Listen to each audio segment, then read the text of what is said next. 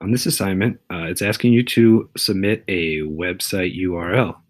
So the first step to do that is to find your website URL. I'm going to go to share. This is Google. It might be different on the site that you're using. Um, and I'm going to copy the link. Uh, right here it says um, restricted to only people who can access this. I need to change that link to anyone at ASD so that my teacher who has an ASD account can see it. It's going to be different for every service. But you just copy the link, go back to Canvas, click Submit Assignment. You're going to put the URL here. And if you have any comments, you can put them here and you click Submit Assignment. Then you're all ready to go.